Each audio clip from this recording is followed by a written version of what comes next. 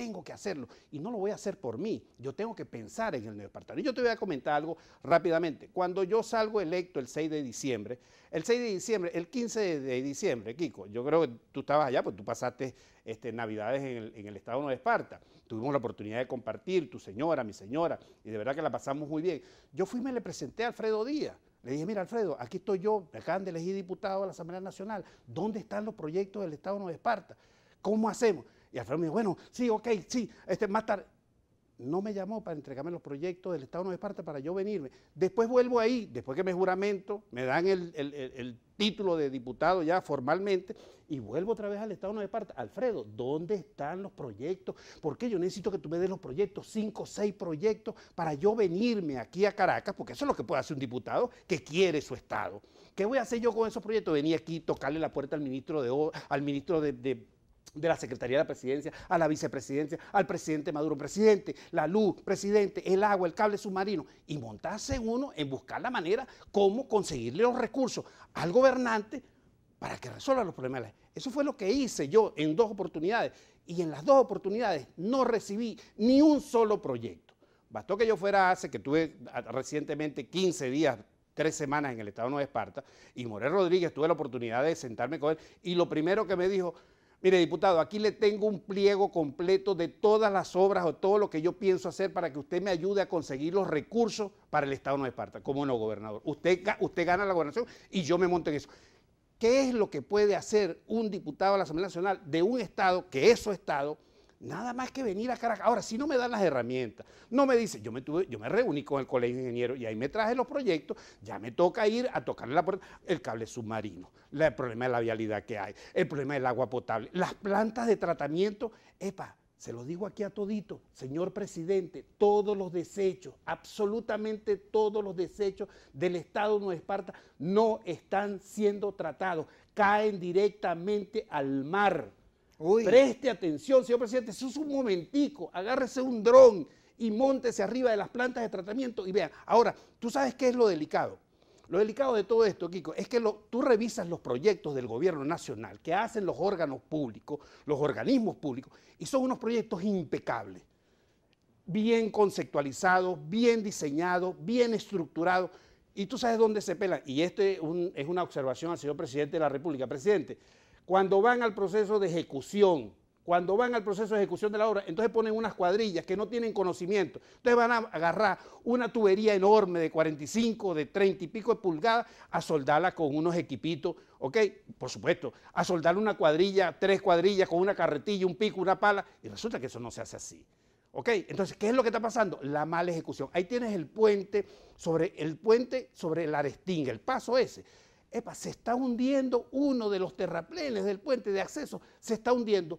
Tú revisas el proyecto desde el punto de, vista de la ingeniería civil y es impecable. Ah, ¿qué pasó? Ah, bueno, porque como había un apuro, era necesario apurarse porque había que inaugurar en los tiempos del general Mata Figueroa cuando era gobernador, ah, no lograron hacer el asentamiento necesario y requerido para que uno de los terraplenes de acceso al puente que viene de la península de Macanao hacia la isla lamentablemente se diera. Hoy, entonces, estamos trabajando con un puente que se hizo hace casi 60 años atrás, que es el puente viejo, es el puente que está suministrándole servicio a la península de Macanao. Entonces, ¿qué es lo que está pasando? Y presidente, se lo digo por cuarta y quinta vez, el problema no está en los proyectos, los proyectos están impecables, los recursos están impecables, el problema reside en la mala ejecución. En el Estado no es parte, yo pertenezco al gremio del Colegio de Ingenieros del Estado no parte, yo soy, yo soy ingeniero civil, en el Estado no es parte tenemos los profesionales más calificados que conocen de todas las materias, de todos esos problemas que yo estoy nombrando aquí,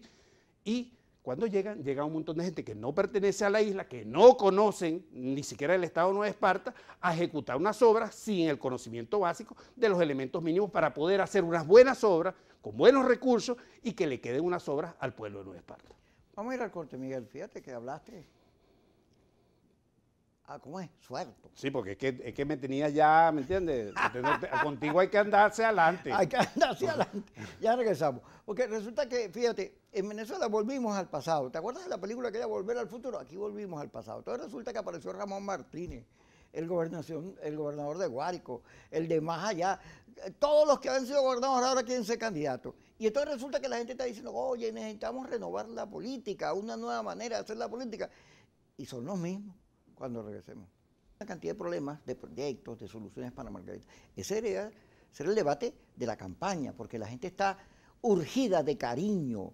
Trata mis problemas como tema. Déjame, de seguir hablando de si se va o no Maduro, el revocatorio, lo que sea. Habla de mí.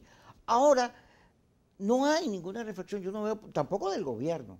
Ojo, tampoco la veo en el gobierno que entienda a la gente lo que está padeciendo. En esta encuesta y en la que vive Chacao también, por nombrarte algunas de las que he visto, también me dio una libertad, los problemas de agua, luz, gas, de servicio, el problema de inflación, el dólar que está ahorita en 3.700, amaneció hoy, todo eso, ¿cómo no? Hay unas variantes en la economía del país producto de, la dolarización, pero la gente está angustiada, menos que antes, pero está angustiada. Lo que pasa es que te acuerdas que nosotros pasamos una semana sin luz y no había agua y no había nada y ahorita más o menos la cosa se resolvió y por eso la gente siente como, wow, como que pasamos lo peor, pero mientras el país no se entienda, mientras el país no salga de la peleadera y se enfoque en la gente, estamos fregados. Mira, y, ese, y, es muy cierto lo que dice Kiko, pero gran parte de la responsabilidad es ese ciudadano, porque ese ciudadano tiene que entender que tiene que prestar sus servicios a la sociedad. O sea, no puede dejarle el país a que lo resuelvan solamente los políticos. ¿Qué hacemos en la democracia cristiana? ¿Qué estamos haciendo en el Partido Demócrata Cristiano Copé?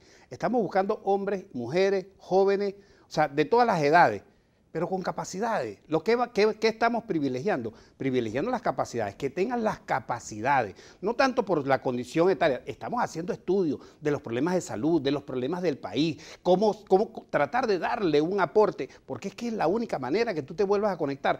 Y la manera como te puedes conectar es buscando liderazgo, gente profesional con capacidades que acceda a esos niveles de gobierno, que vayan a ser, a ser, a ser gobernadores, alcaldes. Y ese es el gran trabajo, que no tenemos ahorita muchos, no, pero los que vamos a colocar desde la democracia cristiana, los que estamos impulsando, los que queremos que lleguen, son aquellos que nosotros estamos metiéndole este, el hombro, es porque tienen capacidades, porque tienen capacidades para poder solucionar los problemas. Y parte de la solución de los problemas, tú lo, lo estábamos conversando antes de que llegue, es tener buenas relaciones. Kiko, nadie peleando va a resolver un problema. O sea, en una peleadera, en una diatriba constante con el gobierno nacional, en una insultadera, no vamos a poder. ¿Cómo tú llegas a pedirle algo, algún recurso, algún dinero, una solución de un problema a un, a un, nivel superior de gobierno, en este caso al gobierno nacional, insultándolo? faltándole los respetos, llamándolo dictadores, llamándolo régimen, llamándolo toda una serie, una serie de descalificaciones, de adjetivos que lo que termina la gente es no ayudándote. Ahora, ¿quién paga las consecuencias? Ah, bueno, yo soy el líder, pues, el líder del Estado. No, Epa, las consecuencias las, no las va a pagar el líder, las consecuencias las van a pagar aquellos venezolanos, aquellos, los en este caso los margariteños, la van a, la van a pagar el, el, que está abajo, el que está requerido de que le atiendan, de que le vean su problema. Entonces, aquí la clase política, en el ecosistema político, es una permanente peleadera, una permanente división donde los egos, donde las vanidades es lo que florece de manera permanente y no se sientan a eso que tú de manera muy reflexiva has hecho, a atender los problemas. Desde la democracia cristiana, desde el partido COPEI, nosotros nos hemos dedicado es a eso, Aquí vengo yo del Estado de Esparta. Y cuando Alvarado sale por el resto que, recorre con el plan 150, visitando, que va Falcón, ahorita va para el Estado de Anzuategui y, y está permanentemente recorriendo todo el país, es precisamente reuniéndose con la gente, escuchándole sus problemas. ¿Qué hacemos nosotros con esos problemas? Kiko, venir aquí a Caracas y tocarle la puerta a alguien y decirle a algún diputado amigo o a algún ministro o, a la vicepresidenta, mire, vamos a tratar de resolver esto y buscar cómo se canaliza la solución sin mucha laraca, Kiko, porque aquí resulta que aquí agarran una cosa y entonces montan una laraca, se monta en un show, porque lo más importante son los reflectores, las luces, los micrófonos, todo ese... Y resulta que aquí hay que bajar un poco el perfil y tratar de dedicarse Kiko, de verdad, atender a la gente, los problemas que tiene la gente, porque eso es lo fundamental y eso es lo que nos va a quedar a nosotros, los que somos servidores, en este caso servidores públicos, los que somos dirigentes de, partidos políticos, lo que lideramos, lo que guiamos, eso es lo que podemos darle ese aporte. Fíjate, el padre Ugalde llamó a votar. Es correcto. Un artículo que yo digo, ah, caramba. Y las encuestas dicen que la gente está en disposición de votar pero la paz, la negociación, que había venido dándose lenta o con ciertos problemas de fondo, eh, a mí me preocupan algunos anuncios que está haciendo el gobierno. No solo esta, eh, la detención de Freddy Guevara o, lo de Milo Graterón metido en la embajada, toda esta situación eh, con respecto a voluntad popular, que a mi juicio, yo conozco bien ese partido, es un partido democrático, democrático.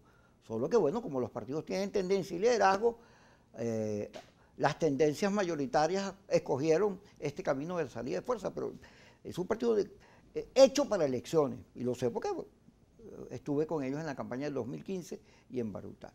Ahora, el Contralor anuncia que eh, quienes no hayan llenado las fórmulas, los requisitos, presentar su estado de cuentas, su patrimonio, pues serán inhabilitados.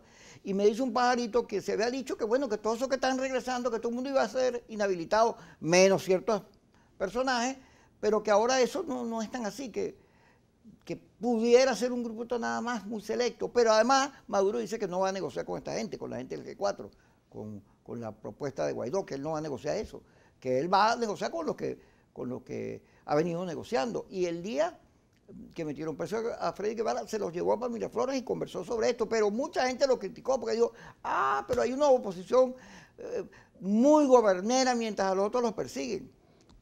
Yo te voy a comprar una de las tesis que tú planteaste en uno de los, al principio del programa. Es parte del guion. Ese es un guion que tiene montado el, gobierno nacional. No va a salir de su guion porque el, en la medida en que más divida, en esa medida él va a prevalecer más tiempo en el poder. Si nosotros nos logramos unir, logramos superar ese tipo de situaciones, logramos eh, este, salirnos de esa situación y privilegiar la unidad por encima de todas las cosas, en donde todos estemos de acuerdo en llevar un solo candidato, el gobierno empieza a temer. ¿Cuál es el temor del gobierno? Que nosotros, por fin, con el favor de Dios y la Virgencita del Valle, logramos tener candidatos unitarios. Ese temor del gobierno va a buscar la manera de cómo. Va a inhabilitar gente, va a meter preso a dirigentes, los va a perseguir, va a hacer que se metan en embajada. Todo eso lo va a hacer el gobierno porque esa es parte de su existir. Es la manera como él puede prevalecer en el tiempo, mantenerse en la conducción del poder. Si nosotros le pasamos de largo a eso, bueno, no será este, bueno, será el otro. Está inhabilitado Juan, no te preocupes Juan, vámonos con los demás. ¿Por qué? Porque la idea es llegar en el 2024, salir del Partido Socialista Unido de Venezuela y después le restituiremos, se le restituirán todos los derechos a todos los venezolanos, a todos los partidos políticos, para poder salir de esta situación. Es que la situación es dramática. 22 años más tres, vamos a tener un cuarto de siglo para, el, para, cuando salga, con el favor de Dios, el presidente Nicolás Maduro en el 2024 por voto. Cuando eso suceda, vamos a tener un cuarto de siglo de construcción de, del desastre, de la destrucción del país, y eso es necesario que lo miremos con con mucha reflexión de cara a lo que nos va a lo que nos vamos a enfrentar. ¿Eres optimista? Siempre. No hay ningún momento en que no me, preñe de optimismo permanentemente. ¿De que preñe? sí. Gracias, Miguel. Gracias a todos ustedes a las 5 y a las 10, Kikosi por Globovisión.